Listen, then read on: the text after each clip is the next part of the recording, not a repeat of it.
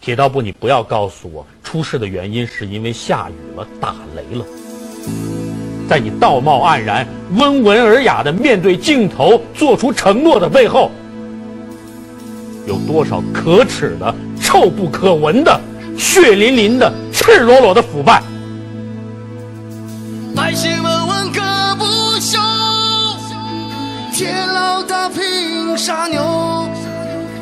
为什么刚过一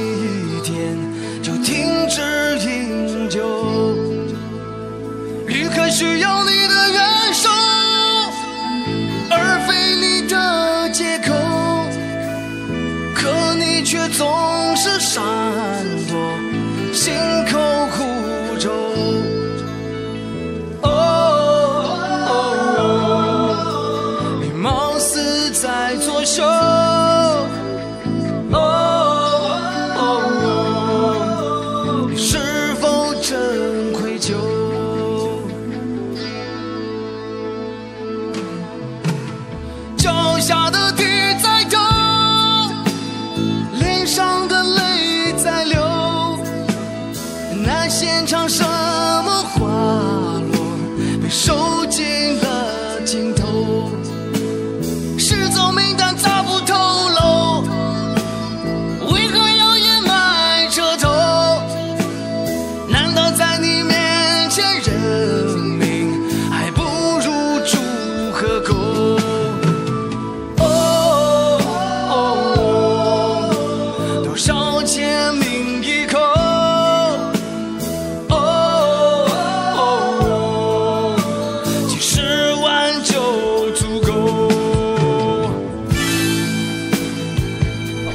他在我拿尸体的时候发现了一个生命迹象，说明当初有人是有生命的。也许那个时候我的太太、我的家人还活着，你为什么不来营救我们？我太太跟我丈母娘的尸体